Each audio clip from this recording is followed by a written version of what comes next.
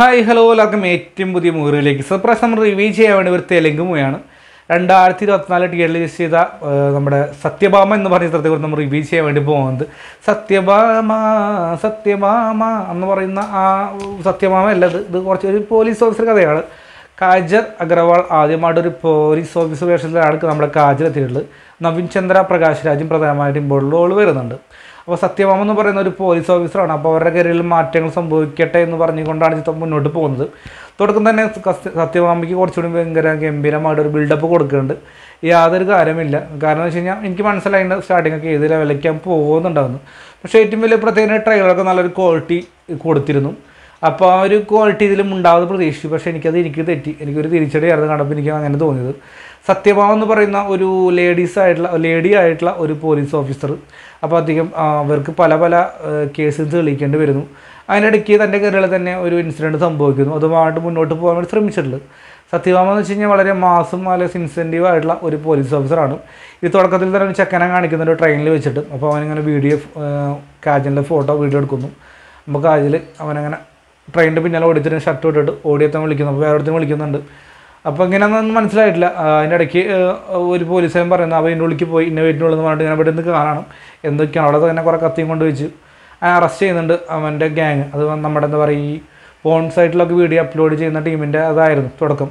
അപ്പോൾ അങ്ങനെ ഒരുപാട് പേരെ സംരക്ഷിച്ചു കാര്യങ്ങളൊക്കെ അത് മുന്നോട്ട് പോകുന്നു. അപ്പോൾ ഇങ്ങനെ ആ ഭാഗം എടുത്ത് കാണിക്കുന്നു. അപ്പോൾ നമ്മുടെ ഒരു സത്യം അവിടെ മാസ് കാണിക്കാൻ വേണ്ടി ഒരു വില്ലങ്ങൾ നോക്കുമ്പോൾ വില്ലന്റെ മുണ്ട് ചോട്ടി പിടിച്ചിട്ട് അങ്ങനെ വില്ലനെ പറഞ്ഞു വിടുകയാണ്. വില്ലെന്ന് പറയാൻ സാധിക്കില്ല ആ സമയത്തുള്ളൊരു പിന്നല്ലേ അതിനുശേഷം വേറൊരു കേസ് വരുന്ന ഒരു പെണ്ണ് പറയുന്നത് എന്റെ ഭർത്താവ് ഒരു സഹിക്കുകയാണ് എന്ന് പറയുന്നുണ്ട്. അതും ഒരു വില്ലനായിട്ടുള്ള കഥാപാത്രമാണ്. അവിടെ ടിസ്റ്റ് കഥ മുന്നോട്ട് പോകുന്നത് അവിടെയാണ് ആ ഒരു കേരളത്തിൽ തന്നെ ഒരു കേസ് മാറ്റിമറിക്കാൻ വേണ്ടി പോകുന്നത് സൈക്കോ വില്ലൻ. അതായത് നെഞ്ചത്ത് ടാറ്റ് ടാറ്റു കുത്തി കൊടുക്കുന്ന ഒരു സൈക്കോ ആയിട്ടുള്ളൊരു ഭർത്താവ്.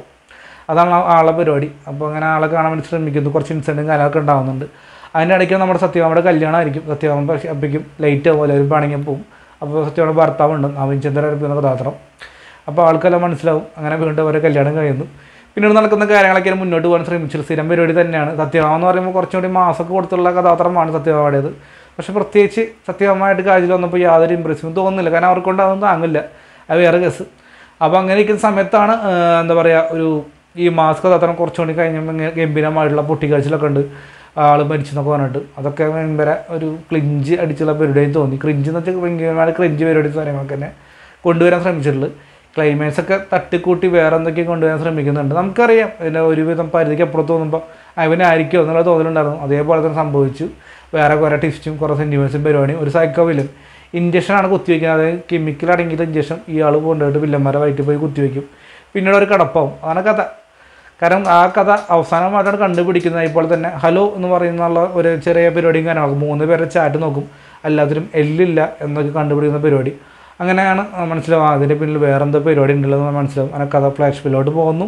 അവിടുത്തെ കുറേ കാര്യങ്ങളൊക്കെ അന്വേഷിക്കുന്നു. ആരൊക്കെയാണ് പിന്നിൽ എന്നൊക്കെ അറിയുന്നു അതൊക്കെയാണ് അതിന്റെ കഥ സത്യമാണത് ആ സത്യഭാമ എന്ന് പറയുമ്പോൾ തെലുങ്കാണ്. ഇപ്പോൾ ഇതിന്റെ മലയാള വേഷൻ ടി വിയിൽ വന്നിരുന്നു നമ്മുടെ കലർ ടി വിയിൽ ഞാൻ തെലുങ്കാണ് കണ്ടത്. അപ്പോൾ എന്തായാലും കണ്ടവരുടെ നിങ്ങളുടെ അഭിപ്രായം കമന്റ് ബോക്സിൽ രേഖപ്പെടുത്തുക. എനിക്കൊരു ഊളപ്പടായിട്ടാണ് തോന്നിയത്. നിങ്ങളുടെ അഭിപ്രായം എങ്ങനെയാണെന്ന് രേഖപ്പെടുത്തുക. അല്ലെങ്കിൽ അല്ലെങ്കിൽ അതും നിങ്ങൾക്ക് രേഖപ്പെടുത്താം. അപ്പോൾ ഇന്നത്തെ ഇപ്പോൾ നമ്മുടെ ഇഷ്ടപ്പെട്ട ലൈക്ക് ഷെയർ എന്നാലും പരിഗണിക്കുക. ആയിരിക്കും ബൈ ബൈ